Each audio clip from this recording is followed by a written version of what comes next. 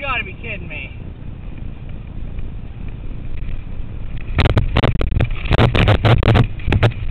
Ugh. Yeah, I just ran into a tree. Yeah, I'm good. Bike on the trail, watch stuff.